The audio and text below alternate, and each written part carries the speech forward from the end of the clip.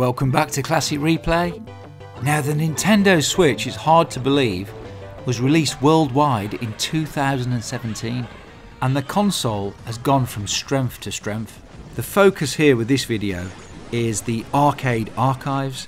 There are over 241 games, with 108 of those being the ACA Neo Geo.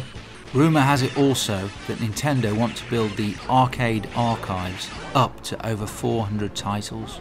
And I'm not sure how true this is, but the Nintendo Switch reportedly has sold just under 120 million consoles. And on that bombshell, please join me as we bring back the classics on Nintendo Switch. These are the top 15 games. Number 15, In the Hunt. I seem to remember the arcades of yesterday. There was loads of submarine style shooters, but this one caught my periscope. but seriously, it's two player, there's a good challenge here, and it looks and sounds brilliant. Every console needs a quality conversion like this, and without question, this is a top notch shoot 'em up. I do miss the arcades, I wish they'd come back.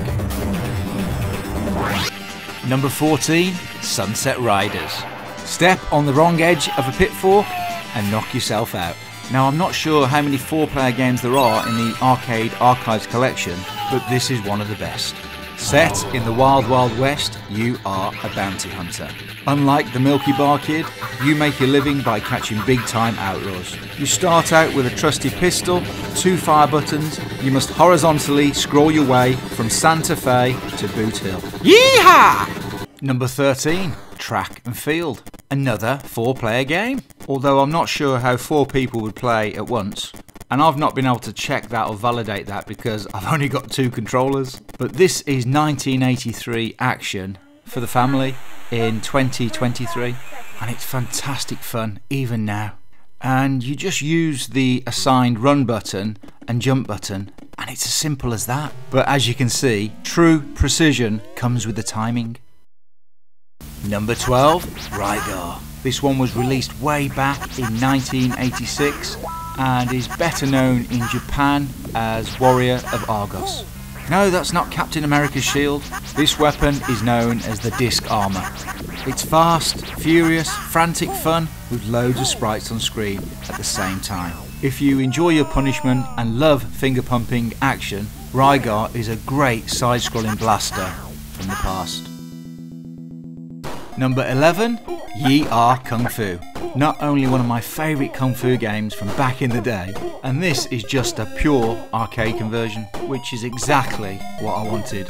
So we've got to hop, skip, and punch our way through a numerous amount of baddies. It's old stamp, it's as old school as they get, but it's highly playable, and you won't be able to put it down until you've finally completed it. So lots of old school action for your hard earned money, it won't disappoint. Number 10 Donkey Kong. Released way back, all the way back in 1981. No list like this should ever be taken seriously unless Donkey Kong is part of it. This version also incorporates the early version, the later version, and the international version. And looking at it now, the construction site has never looked so good. Hurry up though, don't keep Lady waiting. There she is, wave, smile, bye! Number 9 Vendetta. Often overlooked, but this four player beat 'em up classic is no happy family. As you scroll through the city, you're going to have to knock a lot of out. All this because your girlfriend Kate has been kidnapped? Honestly, you should keep her on a leash. But there's three of you, so you're all going to gang up and do something about it. anyway, the, uh, the graphics look fantastic. Oh, and uh, listen to that sound. Number 8 Gradius. I'm told Gradius 3 and Gradius 2 are better, but for me, you just can't beat the original. And if you like those games, those other games, you can purchase those after you've completed this. It's that simple. And that way, if you're new to these types of games, you can experience it as intended. But don't let better graphics fool you. This is easily one of the best shoot 'em ups ever made. A sci fi cult classic. Number 7 Pac-Land. Speaking of cult classics, ah, the memories. Taking pills, chasing ghosts, in that order is easily better in the real world, but you'll still have loads of fun with Pac-Land. you'll need your head testing if you miss this one, as it really is great value for the money. And they've absolutely nailed the emulation and the arcade controls.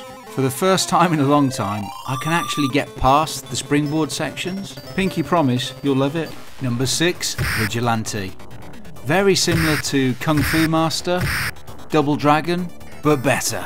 The villains come at you, big and beefy, and the plot's a little bit weird in the sense that Madonna, the singer, has been kidnapped. It's blatantly obvious Sean Penn put them up to it.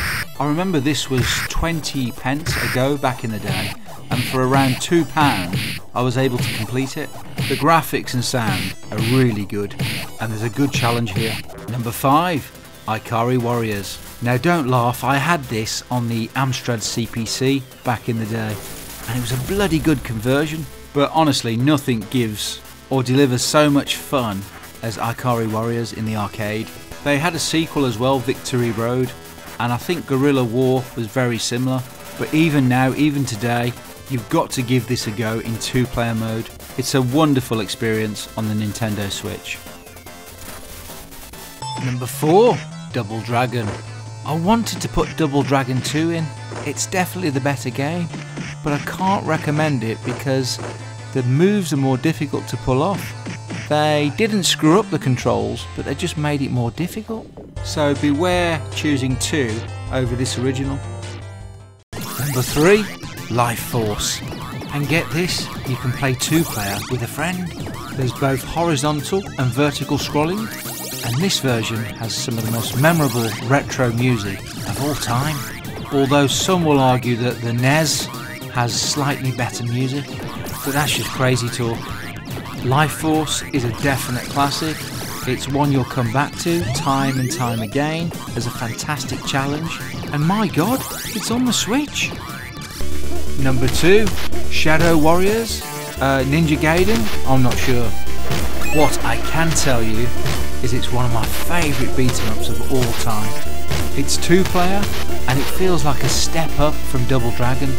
You can run, jump, somersault and kick the living daylights out of Jason from Friday the 13th.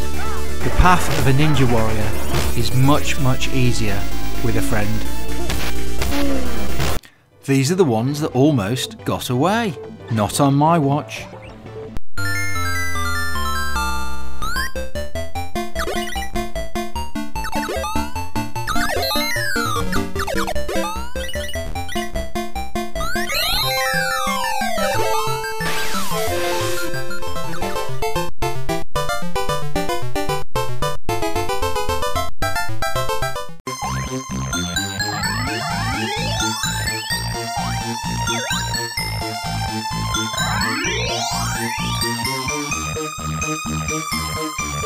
Thank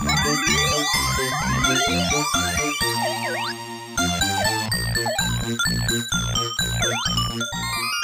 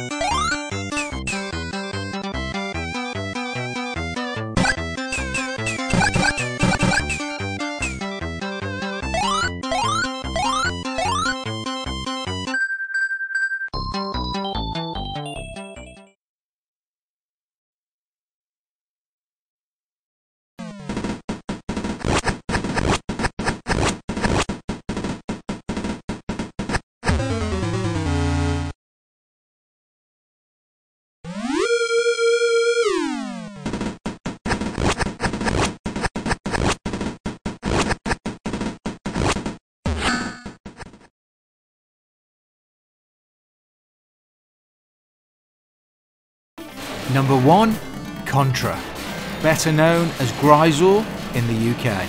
Without question, and in my humble personal opinion, this is one of the best games ever made. And I'm going to sneak this one in there.